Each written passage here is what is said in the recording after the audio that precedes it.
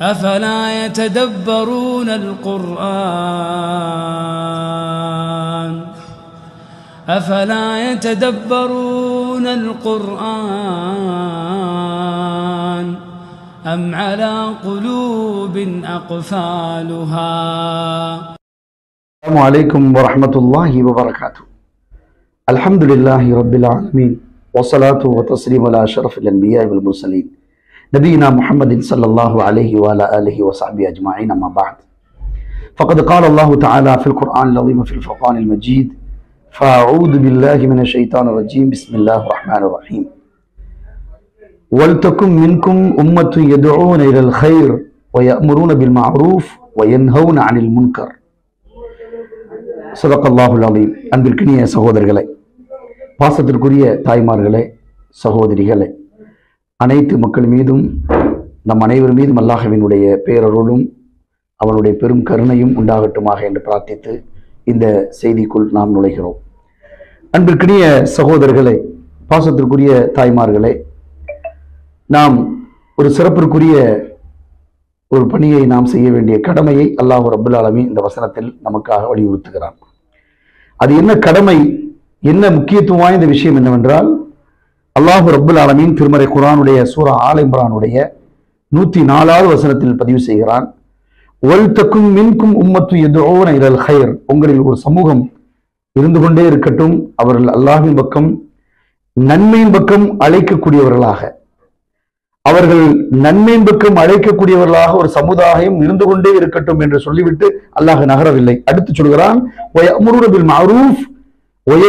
அனில் அவர்கள் நன்மை ஏவுவார்கள் தீமையை தடுப்பார்கள். நன்மை ஏவி தீமையை தடுக்கக்கூடிய ஒரு நல்ல சிறந்த செயலை நோக்கி அழைப்பார்கள். இப்படிப்பட்ட ஒரு சமூகம் உங்களில் இருந்து கொண்டே இருக்கட்டும். அவர்கள்தான் உலாயிக ஹுமுல் வெற்றி பெற்ற சமூகம் என்று அல்லாஹு ரப்பல் ஆலமீன் திருமறை குரானிலே பதிவு செய்கிறார். என்ன நன்மையை நோக்கி நாம் அழைக்க வேண்டும்? என்ன தீமையை நோக்கி நாம் தடுக்க வேண்டும் என்றால் இந்த உலகத்தில் நபிமார்கள் அனுப்பப்பட்ட நோக்கம் என்ன? இந்த உலகத்தில் தீர்க்க தரிசிகளை அல்லாஹு ரப்பல் ஆலமீன் அனுப்பியதனுடைய காரண காரியம் என்ன? வேதங்கள் அனுப்பப்பட்ட நோக்கமும் தூதர்கள் வரு- வருவதை வருவதற்கான இந்த காரணமும் என்னவென்றால் இவர்கள் செய்த பணிதான் நன்மை ஏவி தீமை தடுக்கிற சிறப்பான பணி. சமூகத்தில் தீமைகள் மேலோ மேலோங்குகிற பொழுது பாவங்கள் அக்கிரமங்கள் அதிகரிக்கிற பொழுது அங்கே அவர்களுக்கு நல்ல வழியில் அவர்களை திருத்துவதும் இது தவறு இது குற்றவியல் இது பாவமான செயல் இது இறைவனுக்கு விருப்பமான செயல் இல்லை இறைவனுக்கு கோபத்தை ஏற்படுத்தக்கூடிய செயல் என்பதை சொல்லி அவர்களுக்கு நல்ல வழி எது என்பதை காட்டக்கூடிய வேலையை நபிமார்கள் செய்தார்கள். இந்த வேலைக்கு பெயர்தான் நாம் அழைப்பியல் என்று சொல்கிறோம் அழைப்பு பணி என்று சொல்கிறோம். இது யார் செய்த வேலை என்றால் இது யார் செய்த பணி என்றால் தூதர்கள் செய்த பணி. நபிமார்கள் அத்தனை பேரும் செய்த பணி அல்லாஹு ரபுல் ஆமி திருமறை குரானிலே ஒவ்வொரு தீர்க்க தரிசிகளும் இதை செய்திருக்கிறார்கள்.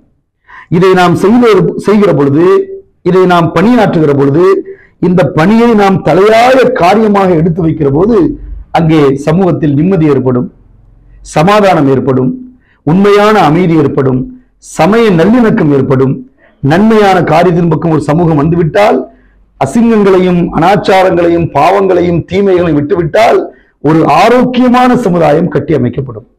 அந்த ஆரோக்கியமான சமுதாயம் அல்லாவுக்கு விருப்பமான இறைவனுக்கு நேசத்திற்குரிய சமுதாயமாக மாறும். என்றைக்கு இறைவனுக்கு நேசத்திற்குரிய சமுதாயமாக இந்த சமுதாயம் மாறுகிறதோ அவர்களுக்கு சுவனம் என்பதை அல்லாஹ் ரபுல் ஆலமின் கடமையாக்குகிறான். ஆக சுவனம் கிடைக்க வேண்டும் இறை பொருத்தம் கிடைக்க வேண்டும் ஒரு ஆரோக்கியமான சமுதாயம் உருவாக வேண்டுமானால் நன்மை ஏவி தீமை தடுக்கிற சமுதாயமாக? நீங்கள் நாவினால் தடுங்கள்.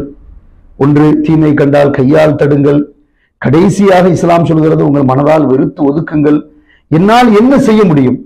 என்னுடைய நாவினால் நான் ஒருவருக்கு ஒரு தீமையை தடுக்க முடியும். என் நாவினால் ஒருவரை நான் நன்மை ஏவ முடியும். என்றால் இந்த பணியை நாம் கண்டும் காணாமல் விட்டுவிடாமல் இதை எடுத்து செய்ய வேண்டிய பொறுப்பும் உணர்வும் ஒவ்வொரு முஸ்லிமுக்கும் கடமை என்பதை அல்லாஹ் ரபுல் ஆலமீன் அந்த வசனத்தில் பதிவு செய்கிறான். இன்னும் ஒருபடி மேல் அல்லாஹ் சொல்லுவான் குந்தும் ஹைர உம்மா.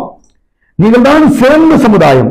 இந்த உலகத்தில் எந்த சமூகத்தையும் அல்ல இப்படிப்பட்ட வார்த்தையை பயன்படுத்தவில்லை. முசா அலி சலாத்து சமூகம் நேரடியாக அத்தாட்சிகளை கண்ட சமுதாயம். அல்ல அந்த சமூகத்தை இந்த வார்த்தை பேசவில்லை. இப்ராஹிம் அலி சலாத்து சமூகத்தை பார்த்து அல்லாஹு ரப்புல் ஆலமீன் சிறந்த சமுதாயம் என்று சொல்லவில்லை. பல நபிமார்களுக்கு பல அற்புதங்கள் வழங்கப்பட்டது. ஈசா அலி இஸ்லாம் சமூகத்திற்கு அல்லாஹு ரபுல் ஆலமீன் பல அற்புதங்களை வழங்கினான். அவர்களை பார்த்து ஹைர உம்மத் என்று சிறந்த சமுதாயம் என்று சொல்லவில்லை.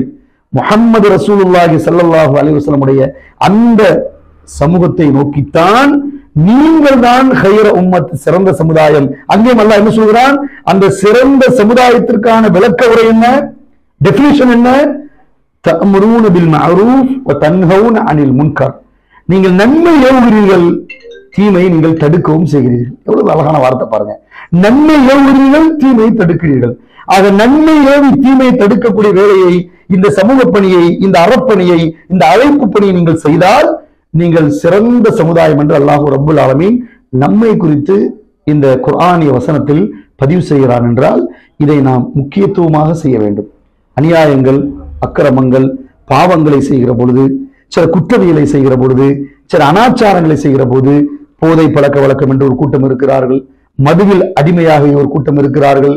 முழு நேரமும் கொலை கொள்ளை போன்ற காரியத்தில் ஈடுபட்டுக் கொண்டிருக்கிறார்கள். சில நேரத்தில் பெண்களுடைய பழக்கத்தில் தங்கள் வாழ்வை அமைத்துக் கொண்டவர்கள் இருக்கிறார்கள். இப்படிப்பட்ட பாவமான காரியத்தில் ஈடுபட்டுகிற எத்தனையோ மக்களை நாம் பார்க்கிறோம். சமூக சீர்கேடுகளை சமுதாய கலாச்சார சீரழிவுகளில் ஈடுபட்டு இன்றைக்கு எவ்வளவோ மக்கள் ஆபாசத்தில் அநியாய அக்கிரமத்தில் ஈடுபட்டுக் கொண்டிருக்கிறார்கள். அவர்களை அழகிய முறையில் அழைத்து இதல்ல சரியான பாதை இதல்ல. இது நல்ல ஒரு வழி அல்ல. நேரிய வழியின் பக்கம் நீங்கள் வர வேண்டும். உங்கள் உடலை பேண வேண்டும் உங்கள் ஒழுக்கத்தை பாதுகாக்க வேண்டும் உங்களை பெற்றெடுத்த தாய் தந்தைக்கு நல்ல பிள்ளையாக வளர வேண்டும். இதெல்லாம் தாண்டி உங்களை படைத்த இறைவன் ஒருவன் இருக்கிறான். அவனுக்கு நீங்கள் ஒப்பற்ற அடிமையாக இருக்க வேண்டும். அந்த இறைவன் உங்களை விசாரிப்பான். நாளை மறுமையில் அவன் உங்களை நிறுத்தி கேள்வி கேட்பான் என்ற இந்த ஓர் செய்தியை இந்த அழகிய அழைப்பியலை இறைவனை பற்றியும் இறை மார்க்கத்தை பற்றியும் அதனால் இந்த சமூகம் ஏற்படுத்திய சமத்துவத்தை பற்றியும் ஒரு மனிதன் ஏற்படுகிற அழகான சுய ஒழுக்கங்களை பற்றியும் எல்லா விதமான காரியத்தை பற்றியும் எடுத்து இயம்புவது அவர்கள் எடுத்து சொல்வது நம்முடைய கடமையாக இருக்கிறது என்பதை இஸ்லாம் இந்த வசனத்தில் அதிகமாக பதிவு செய்கிறது. நபிகள் நாயகம் சொல்லல்லாஹு அலைஹி அவர்கள் என்ற அந்த இறை தூதரவர்கள் அழகான முறையில் சொல்லுவார்கள் ஒருவேளை நீங்கள் நன்மை ஏவி தீமை தடுக்கிற இந்த பணியை செய்யவில்லை என்றால் எப்படி பேசுறாங்க பாருங்க. இந்த நன்மையை தீமையை தடுக்கக்கூடிய இந்த சிறப்புக்குரிய இந்த பணியை நீங்கள் செய்யவில்லை என்றால் உங்களுக்கு அல்லாஹ் ரப்புல் ஆலமீன் அவுல யூஷி அல்லாஹு ஐயதாச அழைக்கும் எக்காதம் இகாபம் மின்ஹு. அல்லாஹுடைய புறத்திலிருந்து உங்களுக்கு தண்டனை வந்துவிடும். அவன் புறத்திலிருந்து வேதனை இறங்கிவிடும். நன்மையை தீமை தடுக்கிற இந்த அழைப்பு பணியை இந்த முறையான இந்த சரியான இந்த நன்மைக்கான பாதையை நீங்கள் செய்யவென்றால் செய்யவில்லை என்றால் இந்த பணியை மேற்கொள்ளவில்லை என்றால் இறைவன் பொறுத்து உங்களுக்கு தண்டனை வரும். அதற்கு பின்பு இறைவா எங்களை காப்பாத்து. இறைவா எங்களை நீ மன்னித்து விடு. இறைவா எங்களை நீ இந்த வேதனிலிருந்து பாதுகாத்துக் கொள் என்று நீங்கள் சொன்னால் கூட கதறினாலும் சரி நீங்கள் அழைத்து இவன் அவனை பிரார்த்தித்தாலும் சரி ஃபல இஸ்தஜாபுலக்கும் உங்கள் பிரார்த்தனை ஒப்புக்கொள்ளப்பட மாட்டாது அந்த இறைவனால் ஏற்றுக்கொள்ளப்பட மாட்டாது என்று நபி சொல்லாஹு அலைஹி என்ற அந்த இறை தூதர் அவர்கள் அழகிய முறையில் நமக்கு அறிவுறுத்துகிறார்கள். அப்படியானால் இதனுடைய தலையாய பணி அது செய்யவில்லை என்றால் தண்டனை என்று வருகிறது. இந்த அற்புதமான இந்த அழைப்பு பணியை அற்புதமான இந்த ஒழுக்க மாண்புகளை பேணக்கூடிய இந்த சமூக சீர்திருத்த பணியை நாம் செய்ய வேண்டும். அதைத்தான் விழுப்புரம் அமைதி மறுவாழ்வு மையம் அற்புதமான முறையில் இந்த பணியை செய்து வருகிறது. தொடர்ச்சியாக இந்த பணியில் தன்னை ஈடுபடுத்தி கொண்டு அவர்களுக்கு தேவையான உணவை வழங்குவது மட்டுமல்ல ஒழுக்கத்திலும் செயல்பாடுகளிலும் கலாச்சார சீரழிவிலும் பாவங்களிலும் மூழ்கி அசுத்தமாக இருக்கிற சமூகமாக இருக்கிற மக்களை சுத்தப்படுத்தக்கூடிய அவர்களை மனித நேயர்களாக இறைவனுக்கு உவப்பான அடிமைகளாக ஒரு இறைவனை சரியாக புரிந்து அவர்கள் வாழ்வியலை தூய்மையாக்கக்கூடிய ஒரு சிறப்பான ஒரு பணியை செய்து மனிதர்கள் புனிதராக ஆக்குவதற்கு என்ன வேலை செய்ய முடியுமோ அதை அவர்களை உட்கார வைத்து ஒழுக்கவியலை கற்றுக் கொடுக்கிறோம். மனிதர்களை எப்படி மதிக்க வேண்டும் என்று நாம் கற்றுக் கொடுக்கிறோம். இறைவனை எப்படி அஞ்ச வேண்டும் என்று நாம் கற்றுக் கொடுக்கிறோம். உங்கள் தாய் தந்தையிடம் எப்படி நடக்க வேண்டும் பிற சமய மக்களிடம் எப்படி நடக்க வேண்டும் உங்கள் உறவுகளிடம் எப்படி நடக்க வேண்டும் உங்கள் அண்டை வீட்டுக்காக எப்படி நடக்க வேண்டும் உன் உடம்பை நீ எப்படி முதலில் பாதுகாத்துக் கொள்ள வேண்டும் நீ யாருக்கு கடமையை நிறைவேற்ற வேண்டும் நீ இறைவனுக்கு பயந்து நடக்கவில்லை என்றால் உனக்கு என்ன தண்டனை? நீ இந்த சமூகத்தில் யார்? உனக்கு என்ன பொறுப்பு?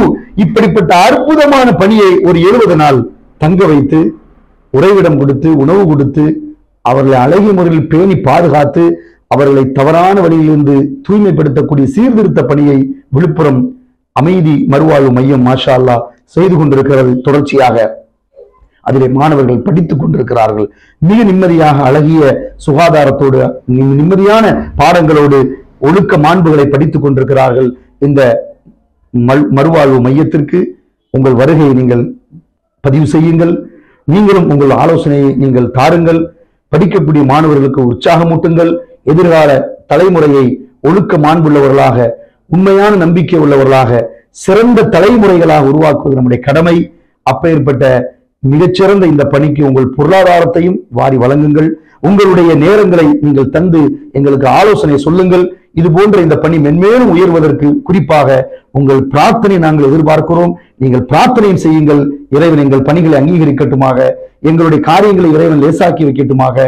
நிச்சயமாக இந்த பணி நம் அனைவருக்கும் பொதுவான கடமையான பணி. இதை இறைவன் எங்களுக்கு இந்த வாய்ப்பை தந்திருக்கிறான். இதை ஒவ்வொருவரும் அவரவருடைய பகுதிகளிலே இந்த ஒழுக்கத்திற்குரிய வேலைகளை சீர்திருத்தத்திற்கான பணிகளை செய்ய வேண்டிய கடமை இப்பொழுது காலத்தின் அவசியமாக இருக்கிறது. அது நம்முடைய கடமையாக இருக்கிறது. அதை செவ்வன சிறப்பாக விழுப்புரம் மிகச் சிறப்பாக இந்த அமைதி இல்லம் மறுவாழ்வு மையம் செய்து கொண்டிருக்கிறது. இன்ஷா அல்லா இதை இந்த காணொளி மூலம் வேண்டுகோள் வைக்கிறோம். வாருங்கள் வருகை தாருங்கள் உதவி புரியுங்கள் ஆலோசனை சொல்லுங்கள் இணைந்து பணியாற்றுவோம் எதிர்கால சமூகத்தை ஒழுக்க மாண்பாளர்களாக மாற்றுவோம் என்று கூறி நாம் முடித்துக் கொள்கிறோம். வாழ்த்துக்கள் நன்றிகள். உங்களுக்கும் நமக்கும் இறைவன் அருள்புரிவானாக. வாஹிர் தவானா. அனில் அஹமதுல்லாஹி ரபில் ஆலமீன். வசலாம் அலைக்கும் வரமத்துல்லாஹி வபரகாத்து